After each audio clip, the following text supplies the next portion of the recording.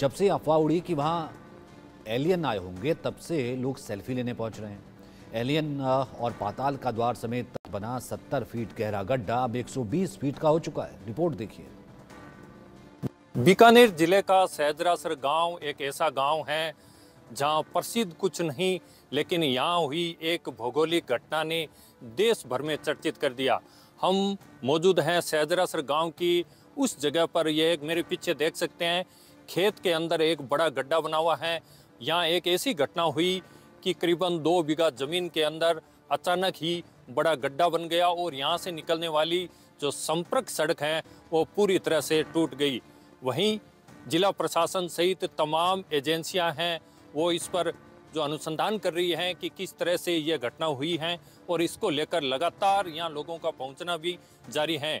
India news की team यहाँ पहुँची हैं तो आज आपको इसी जगह की दूसरी बार ग्राउंड रिपोर्ट दिखाने का प्रयास करेंगे। बीकानेर ज़िले का सैदरासर गाँव जहाँ देश भर में पूरी तरह से प्रसिद्ध हो चुका है।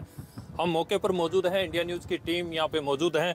यहाँ कुछ स्थानीय लोग व जनप्रतिनिधि के अलावा बड़ी संख्या में लोग पहुँचे हैं इनसे बात करते हैं। महिपाल जी बताइए ये जो घटना हुई है यहाँ पर ये किस तरह की है ये? पंद्रह अप्रैल को रात्रि में लगभग दो तीन बजे अचानक मिट्टी जो धसी है, लगभग एक डेढ़ बीघा में मिट्टी धसी हुई है। और इसकी अभी जो भू विशेषज्ञ आए हैं अभी, वो अभी जाँच कर रहे हैं। अभी टीम आई है, तीन दिन से रेगुलर जाँच कर रही है। ये बोल रहे हैं, हम यहाँ से मिट्टी का सैंपल लिया है और जाँच कर कर जल्दी आपको बताएँगे कि इस घटना का कारण क्या रहा है। जी, बिल्कुल। हमारे साथ जो स्थानीय जनप्रतिनिधि है भाई साहब आप यहाँ के रहने वाले हैं। जी सर। पहले यहाँ कोई ऐसी घटना हुई कुछ ऐसी बात? पहले ऐसी घटना नहीं थी। ये जो रोड है जो ढाणी गोपालाराम की तरफ़ जा रही है रोड के पास में एक छोटा खड्डा जो बुज़ुर्ग बताते हैं कि बिज, को बिजली गिरने से हुआ था। हर साल बरसात के सीज़न के अंदर ये रोड टूट जाती थी जिसको हम ग्राम पंचायत के माध्यम से रेत के कट्टे रखवा के रोड को सही करने का काम तीन चार सालों में हमने किया है। और अन्य प्रकार की इस ज़मीन के अंदर किसी प्रकार की कोई घटना नहीं थी। किसी तरह की कोई घटना कोई घटना नहीं थी सर। आप बताइए जो यहाँ पर जो बड़ी संख्या में जैसे लोग पहुँच रहे हैं तो यहाँ अफवाहों का दौर सबसे ज़्यादा चल रहा है। हमारा इंडिया न्यूज़ का मकसद है किसी तरह की अफवाह नहीं फैले प्रशासन है वो पूरी तरह से यहाँ सहयोग कर रहा है। तो यहाँ किस तरह का माहौल है और आम जन को क्या कहना चाहिए? आमजन को कहना चाहेंगे कि धारा एक सौ लगी हुई है यहाँ पे पास में नया जाए गड्ढे के और टीम आई हुई है वो जाँच कर रही है। उसके बाद में कोई खुलासा हो पाएगा। बिल्कुल। आपका क्या नाम है भाई साहब? कहाँ के रहने वाले हैं? धीराजराम जाकड़ यही गाँव है सेजरा यही गाँव है। यहाँ की पहले भौगोलिक स्थिति क्या थी जो ज़मीन? पहले यहाँ भाई सैकड़ों साल से ये हमारा गाँव है सेजरा सर। हमारे बुज़ुर्ग ये बता रहे हैं कि यहाँ एक खड्डा था। भाई रात को अब पुराने जमाने में ये बता रहे हैं कि यहाँ कोई बिजली गिरी थी। ए, उसके बाद हो सकता है भाई पहला वो जिया खड्डो पड़ी हुए भी टाइम में हो सके ज़मीन पहला हूँ भी दस के बिजली बा पड़ी हुई बिंगो एक जिया मेल जोड़ हो जाए। बिंग बिंग बाद में माँ दो तीन साल धीरे धीरे यहाँ एक खड्डो पड़ गया बिंग माँ बाद में बरसात के समय में यहाँ पचास फुट के एरिया में धीरे धीरे ज़मीन अंदर धसकने लगी तो आपने प्रशासन को कभी सूचित किया या प्रशासन ने कोई कार्रवाई प्रशासन को हमें दो तीन बार अवगत करवाया। एक बार तो हमारे गाँव में यहाँ शिविर लगा उस टाइम भी अवगत करवाया।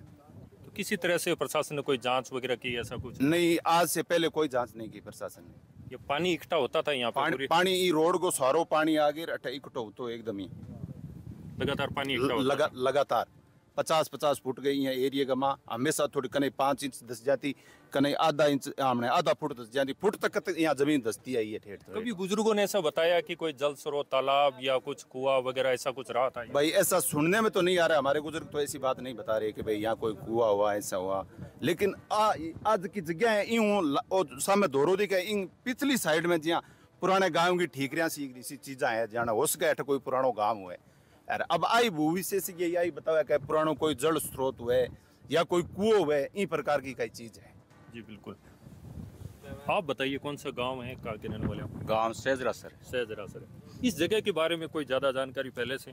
ज़्यादा पहले कोई जानकारी को नहीं अठे एक खड्डो होया करतो और सार के सड़क निकल गई। और मोटा मोटा मतलब ट्रक है जगह वजनदार या बगता आंता जानता कोई प्रभाव को नहीं वो पुरानो हो बडेरा कह बिजली खाड है बिजली खाड है मैं तो कोई देखा कौन बडेरा कोई देखी है और दुलडो बताऊँ था वो इतो ही रहन तो भाई आंधी चालती बुरी थी तो चबेट जाऊँ तो बाकी वो दुलडो तो तो लोगों द्वारा अफवाहें जो फैलाई जा रही है ये तो अफवाह है कूड़ी बात है बिल्कुल हमारे जो यहाँ स्थानीय साथी हैं मनोज उनसे भी बात करेंगे जी कैलाश बिल्कुल ये सैदरासर गाँव है, जो लूनकरनसर से 15 किलोमीटर दूर है और जिस सड़क पर हम अभी खड़े हैं, ये सड़क लूनकरनसर और सैदरासर के सहित करीबन दो दर्जन गाँवों को जोड़ती है और इस गड्ढे के साथ, इस ज़मीन धंसने के साथ ये सड़क भी आप देख सकते हैं कि ये अंदर धस गई। हालाँकि हम इससे थोड़ा डिस्टेंस बनाए हुए हैं क्योंकि प्रशासन ने यहाँ धारा एक सौ चौवालीस लगा रखी है।